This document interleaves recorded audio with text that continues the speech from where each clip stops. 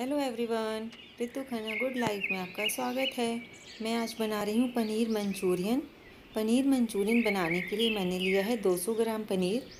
साथ में बारीक कटी हुई शिमला मिर्च और गाजर है। अदरक, लहसुन है, नमक है और मैदा है दो चम्मच। साथ में है ब्रेड की तीन स्लाइस। तो आइए हम इसको बनाना शुरू करते हैं। सबसे पहले हम पनीर को मैश कर लेते हैं। और ब्रेड को मिक्सी में पीस लेते हैं। हमने पनीर मैश कर लिया है और ब्रेड को पीस लिया है। अब हम इनको मिक्स करते हैं। पहले हम डालते हैं इसमें शिमला मिर्च और गाजर।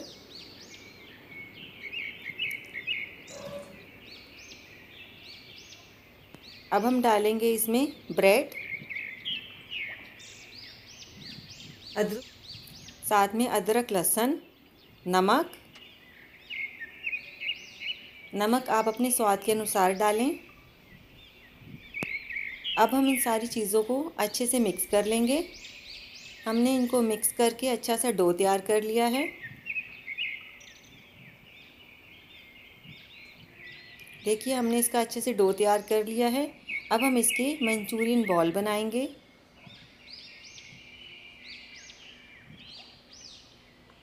मैं इनको राउंड शेप में बना रही हूँ। अगर आप चाहें तो कुछ डिफरेंट शेप में भी बना सकते हैं।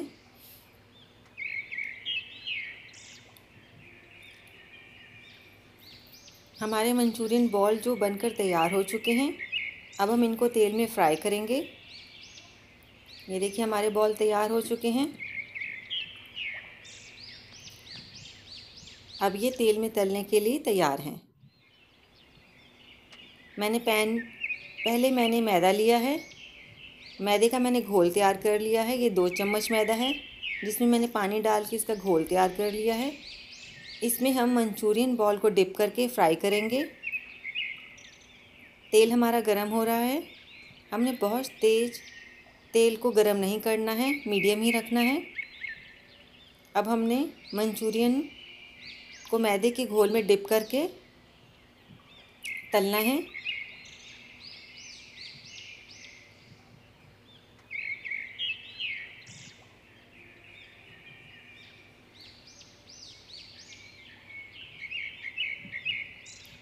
हम ऐसे एक एक करके सारे मंचूरियन तेल में फ्राई कर लेंगे। आँच मीडियम रखनी है। हमारे मंचूरियन फ्राई हो चुके हैं।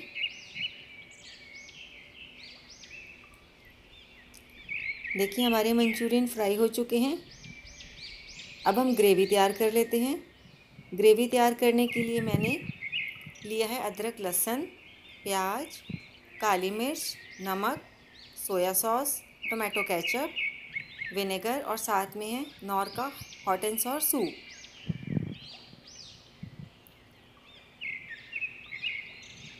Hot and sour soup मैंने इसलिए लिया है क्योंकि मैं कॉर्न फ्लोर को यूज़ नहीं कर रही हूँ। इससे ग्रेवी और भी ज़्यादा टोमेटो बनती है। और डार्क सोया सॉस। तो आइए। तो आइए अब हम ग्रेवी बनाते हैं। मैं पैन में ऑयल डाल रही हूँ। ये एक बड़ा चम्मच ऑयल का है। इसके साथ हम डालेंगे अदरक और लहसुन।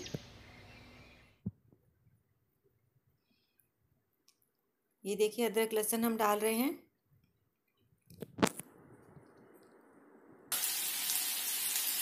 इनको हमने एक मिनट ही फ्राई करना है।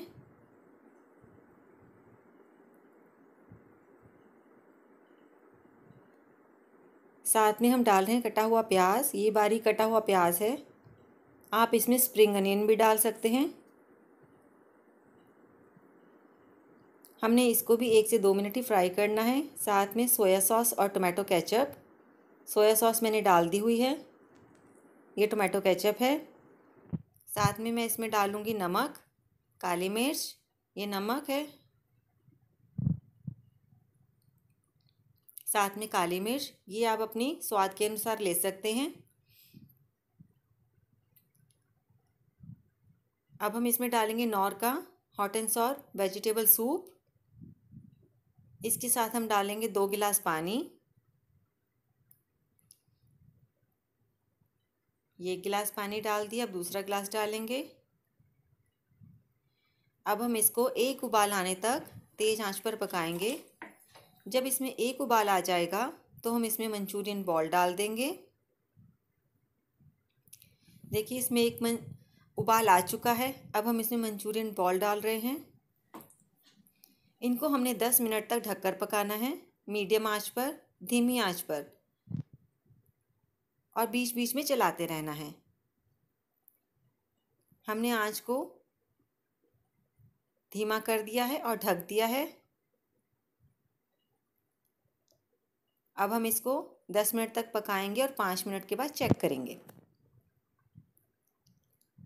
पाँच मिनट हो चुके हैं, हम एक बार इनको फिर से चेक कर लेते हैं और अच्छे से चला लेते हैं।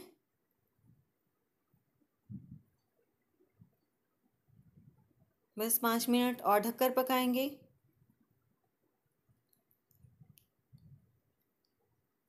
देखिए, हमारे मंचूरियन तैयार हो चुके हैं। आप इनको फ्राइड तो राइस और नूडल्स के साथ खा सकते हैं। मैं इनको नूडल्स के साथ खाने वाली हूँ। आपको यह रेसिपी अच्छी लगी होगी ऐसी आशा करती हूँ। Thank you.